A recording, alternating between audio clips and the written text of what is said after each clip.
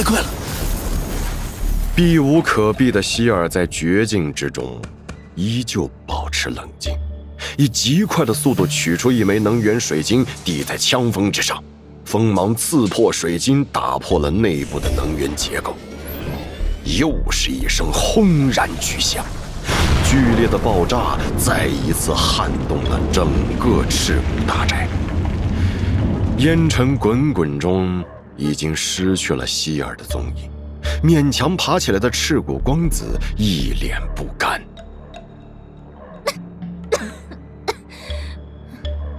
又是这种卑劣的手段！该死的小贼，一定要抓住他！是。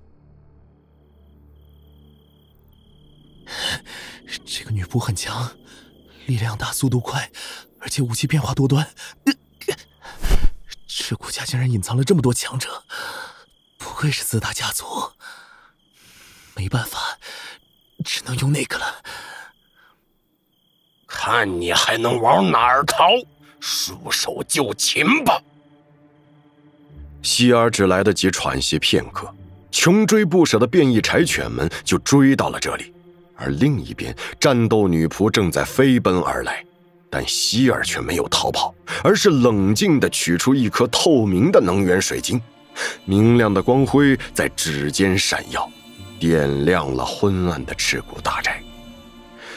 柴犬与战斗女仆的攻击紧随而来，但却只是打在一团虚幻的光影上，下一刻连光影都彻底熄灭了。空间传送，消失了。赤蛇之国的某处街道，随着光芒点亮，本该被众人围攻的希尔，凭空出现了。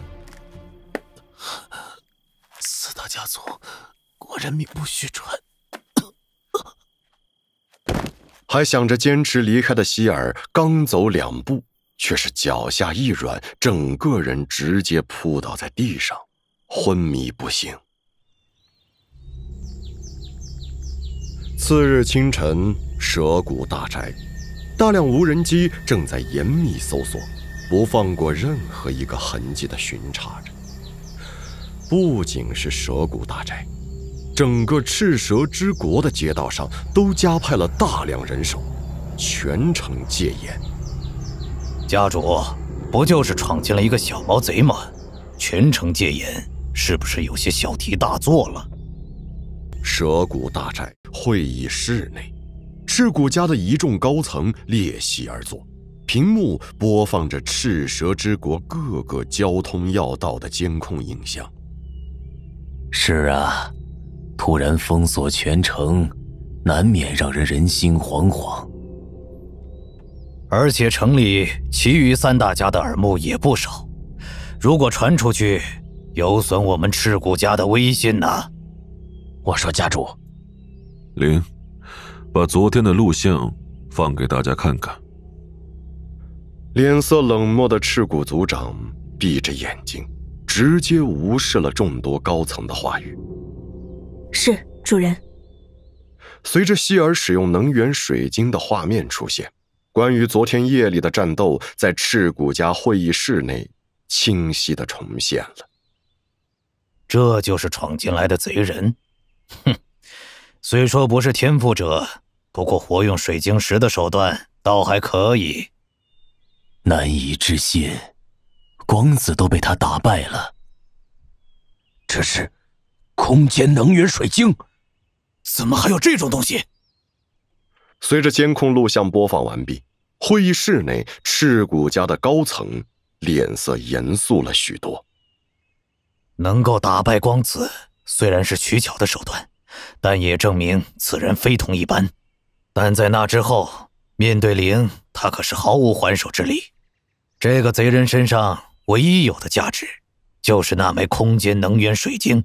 但如果就是这样，也不值得全城戒严。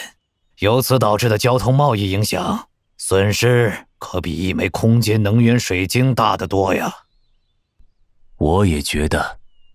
空间能源水晶虽然珍贵，但也无需如此兴师动众。不值得。那你们再看看这个。监控影像再次开启，定格在希尔取出项链询问赤骨光子的画面。你是蛇骨家的人，你认不认识这个项链啊？不认识。等等，这东西，这是……不，不可能！